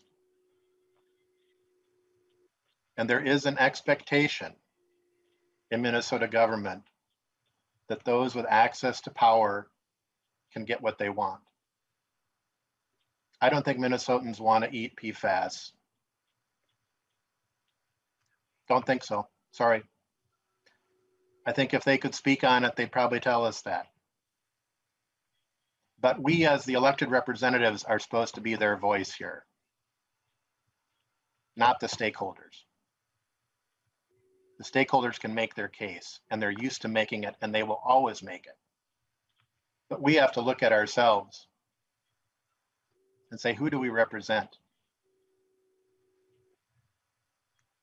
And with that, I ask for your vote and support. Thank you, Chair Hansen. There being no further discussion to the bill, Chair Hansen renews his motion that House File 5 as amended be recommended for placement on the general register. Ms. Sparkman, please take the roll. Chair Moran, Aye. Moran, aye. Vice Chair Olson, Aye. Olson, aye. Representative Garofalo, Garofalo, no. Garofalo, no. Representative Albright, No. Albright, no. Representative Becker Finn, Becker Finn, aye. Becker Finn, I. Representative Bernardy, Unless Aye. something happens soon. Bernardy, I. Representative Ecklund, Aye. Ecklund, I. Representative Hansen, Aye. Hansen, I. Representative Hassan, Hassan, I. Hassan, I. Representative Hertaus, Day, no. Hertaus, no. Representative Hornstein, Ornstein, aye. Hornstein, I. Representative Johnson,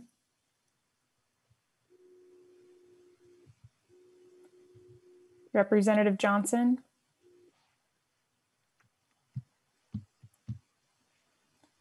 Representative Kresha, Krisha, no. Kresha, no. Representative Liebling, Liebling, aye. Liebling, I. Representative Lillie, Aye. Lillie, I. Representative Mariani, Representative Mariani, Mariani, aye. Mariani, I. Representative Marquart, Marquart, aye. Marquart, I. Representative Miller, Miller, no. Miller, no. Representative Nash, Nash, no. Nash, no. Representative Nelson, Nelson, aye. Nelson, I. Representative Noor, Noor, aye. Noor, I. Representative O'Neill, Neil, no. O'Neill, no. Representative Pelowski, Pelowski, aye. Pelowski, I.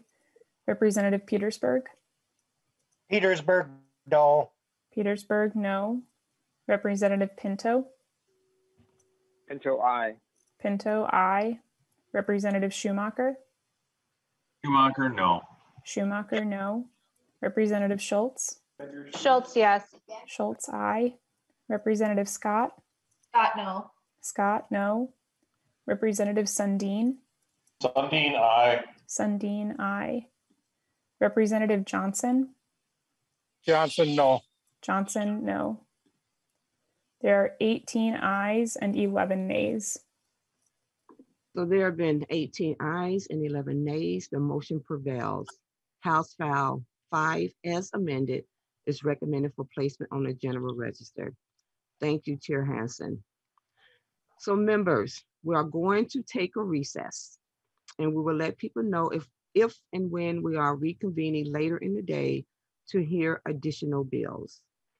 Please watch your email.